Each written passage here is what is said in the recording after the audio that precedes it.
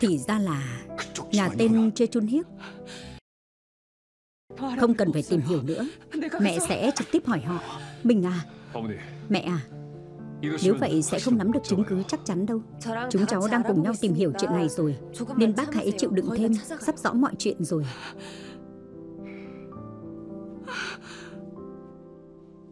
Hiện tại quyền quản lý bệnh viện chúng tôi đã thu lại rồi. Viện trưởng Trê, Tốt hơn hết là anh đừng khiến tôi phải bận tâm thêm nữa. Không tôi sẽ phải bãi nhiệm anh đấy. Sao? Ý cậu là sẽ đuổi cả tôi ra khỏi bệnh viện này sao?